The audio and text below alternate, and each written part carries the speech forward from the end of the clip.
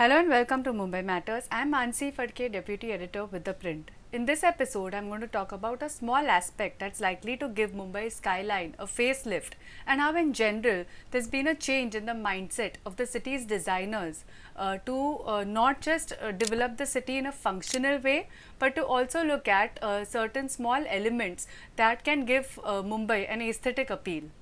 There is a big zero that is being added to Mumbai skyline and defying traditional mathematics where the addition of a zero does not change the original value of an element.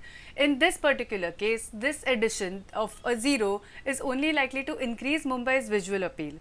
This is the Shunya Bridge which the Mumbai Metropolitan Region Development Authority is constructing as part of a metro rail corridor, a 23.5 kilometer line from DN Nagar to Mandale in Nagpur, uh, which connects uh, eastern and western suburbs such as Andheri, Bandra, Kurla and Chembur. The Shunya Bridge is to honor the Indian invention of the number zero uh, Shunya in Sanskrit by Aryabhat and blend the uh, country's modern engineering prowess with its cultural heritage, the MMRDA says.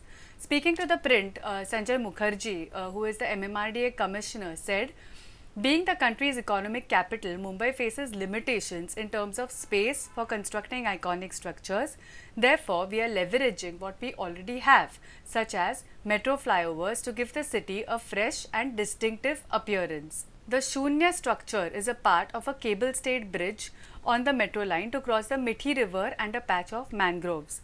Uh, Mukherjee says structurally uh, the bridge was uh, inevitable because one can't really construct uh, it's difficult to construct piers uh, in the uh, in a water body and on loose soil in the mangrove. So one needs structures that give you a larger span. Span essentially means the distance between two piers. And hence a cable stayed bridge was thought to be apt for this particular stretch. And uh, uh, the Shunya uh, uh bridge, uh, the Shunya element, the oval element was incorporated as part of the design.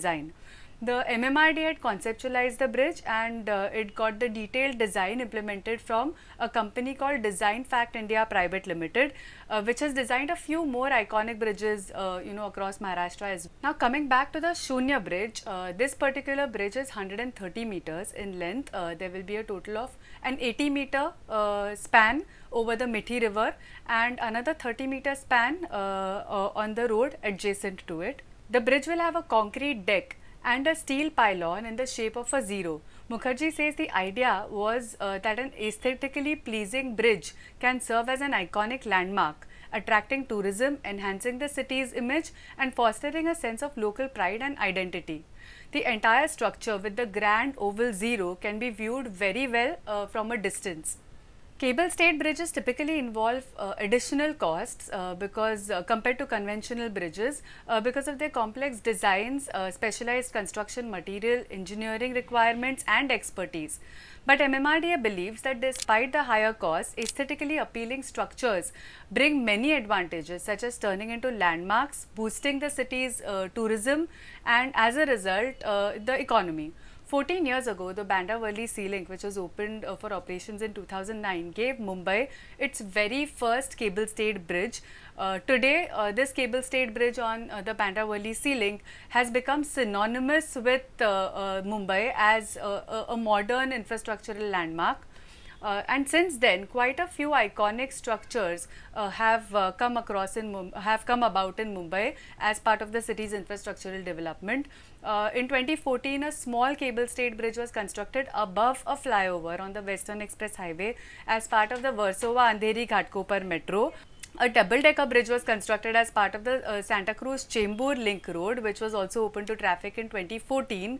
Uh, now there are ortho orthotropic steel decks uh, that are uh, that have been used for the under construction Mumbai Trans Harbour Link, uh, which is likely to be opened for operations uh, by the end of this year or early next year.